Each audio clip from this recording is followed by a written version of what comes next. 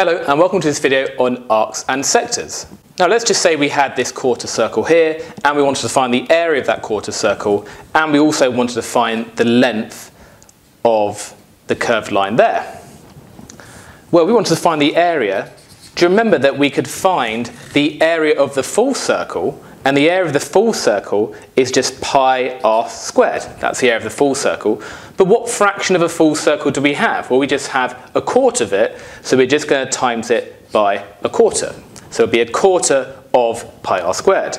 So if we did that for this particular circle, we're going to do a quarter times pi times the radius squared, so 4 squared, and that would give us 4 pi, or as a decimal, it would give us 12.6 centimetres squared. Now if we wanted the length of this line here, then we would start with the circumference of a full circle, which we know is 2 pi r. And then we don't have a full circle, we just want the length of a quarter of the circle. So again, we would do a quarter of that. So that would be a quarter times 2 times pi times the radius, which is 4, and that would give us 2 pi, which as a decimal is 6.28 centimetres if it was to three significant figures.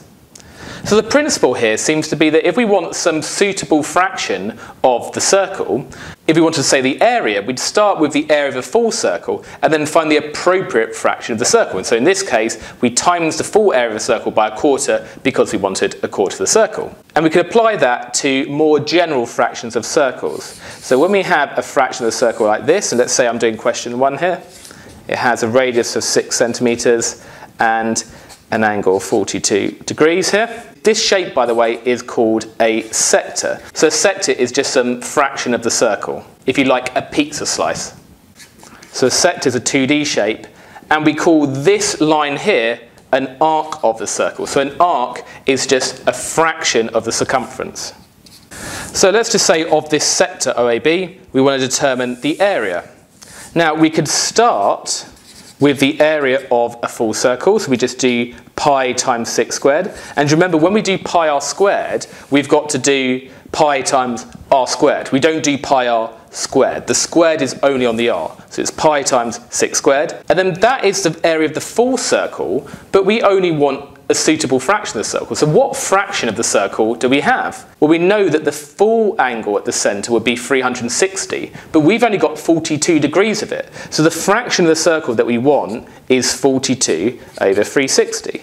So you want 42 360ths of the area of a full circle. So if we just put that on our calculator, that gives us 21 over 5 pi, which has a decimal, if we press the SD key, it's 13.2 centimetres squared. And we also want the length of the arc AB. So we just want the length of this line AB. So the arc length would be, well, we start with the circumference of a full circle. Well, we know the circumference of a full circle is 2 times pi times r, 2 pi r. So the radius is 6. And then again, we don't want the circumference of a full circle. We just want the appropriate fraction. Now we know from the previous question, we're just doing 42 3 60ths of a full circle. So we want 42 3 60ths of the full circumference of the circle. And again, we just put that into our calculator. And that gives us 4.40 centimetres to three significant figures. Let's do the next one. We've got 110 at the centre degrees, 5.1 metres. And we're going to determine the perimeter of the sector. So the perimeter is going to involve all three of these lengths. Well, we know that this is also going to be 5.1 meters because they're both the radius of the kind of circle. And we also need to find this arc length here. So the arc length is going to be equal to, well, we need the circumference of a full circle first, so 2 pi r, so 2 times pi times the radius. And then we times that by the suitable fraction of the circle. Now, we've got 110 3 60ths of a circle. So we always times by the angle over 360 times full circumference. And that is going to give us 9.79 meters. And then that means the full perimeter is just going to be 9.79 plus the two other lengths. So we've got this length as well and this length as well, because that's just the arc length here. We want these two as well. So 5.1 plus 5.1. And if we add that on, the 10.2, to what we had before, that gives you 19.99 meters. And there we go, we've solved that one. Now we've got these slightly harder, more problem-solving equations here. We've got this sector here, we don't know the angle, it's some angle theta there. Theta is just a Greek letter, often used as a variable for angles. And we're told that the area is 45 pi. Now, how would we usually find the area of a sector? We would know that we'd start with pi r squared, so pi times 18 squared. And then we times that by the appropriate fraction of the circle that we have. Now we got theta out of 360 of the circle. We'd usually do that angle over 360. But we're told that is equal to this area here, which is 45 pi. And then it's just a case of working out what theta is from this equation. So we're solving for theta. Now I don't like this over 360 here. I don't like fractions and equations. So we could multiply both sides by 360 to get rid of that over 360. So that now just becomes theta because the times 360 gets rid of the over 360.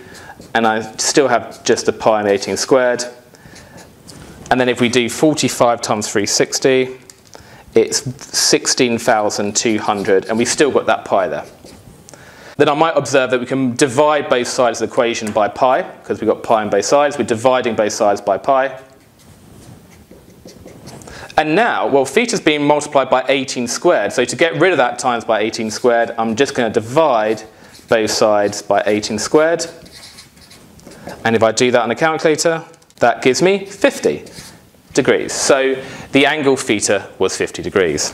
And this very final one here, given the arc length, that arc length there is 2 pi, determine the area of the sector. Now we don't know the radius this time, but we are given the arc length. So let me put just a radius r because I don't know what the radius is, but we're told the arc length is 2 pi.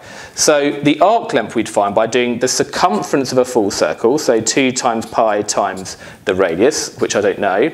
We times it by the appropriate fraction of the circle, which in this case is 33 sixtieths. And that we know is equal to 2 pi, because that's what the arc length is. That's what we're told. Now let's see what we can divide both sides by and maybe simplify. Well, 30 over 360 is a 12. So 12 times 2 pi r equals 2 pi. Um, I could divide both sides of the equation by 2 pi. So if I divide that by 2 pi, it just becomes 1.